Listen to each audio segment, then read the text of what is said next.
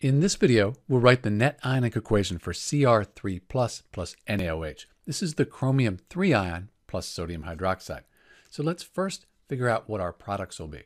So when we add this chromium 3 ion to the sodium hydroxide, we should end up with chromium hydroxide plus this sodium ion, Na plus.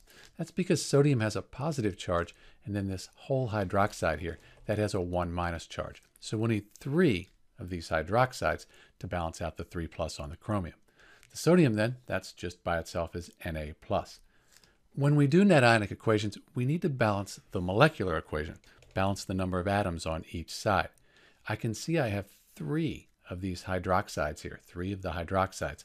So I'm going to put a 3 in front of the sodium hydroxide. Now I have three hydroxides, but I have three sodium ions. So I'm going to put a 3 here, and we'll balance the molecular equation. Now we need to write the states for each substance. So we're assuming that this chromium 3 ion, if it's written chromium 3 plus, that's going to be aqueous. So we have a solution with chromium 3 here. Sodium hydroxide, when it's put in a solution, when it's put into water, it's going to be aqueous here as well. So we'll say that's aqueous. It'll split apart, dissolve you know, into its ions. Chromium 3 hydroxide, that's a solid. If you look that up on a solubility table, you'll see that that's a solid. So it's actually going to be a precipitate. It's going to fall to the bottom of the test tube or wherever the reaction is taking place. Sodium, that's an ion, that's going to be aqueous. So we have our states for each substance. Now we can split the strong electrolytes into their ions, and that'll give us the complete ionic equation. So Cr3 plus, that's all already just broken down. And all right, aqueous at the end. Plus we have three sodium ions. Sodium's in group one, so it has a positive charge. Three of these hydroxide ions. And those are the reactants. And we end up with this chromium 3 hydroxide, which is a solid, plus three sodium ions. At this point, this is the total or complete ionic equation. Now we can cross out the spectator ions. They're on both sides. We look, the only thing that's the same on both sides, these three sodium ions. So we can get rid of those.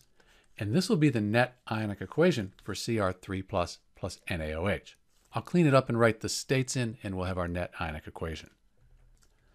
So this is the net ionic equation for chromium 3 plus, the chromium 3 ion plus sodium hydroxide. If you look at this, all the atoms, they're balanced. We have three hydroxides here and then three hydroxides here. We have a chromium atom and a chromium atom.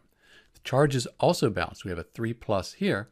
3 times 1 minus, that's 3 minus. So they add up to 0, net charge of 0. This is a neutral compound, so the net charge is 0 here. So it's balanced both for the atoms and the charge. This reaction is useful because we get this wastewater sometimes with chromium dissolved in it. Chromium's not good for you, and you want to get the chromium out. So if you add the sodium hydroxide to that, the chromium, this precipitates out of the solution, and really all you're left with is this solid here, which you can filter off, and then these sodium ions just in solution. And sodium ions aren't going to hurt you. This is Dr. B, and thanks for watching.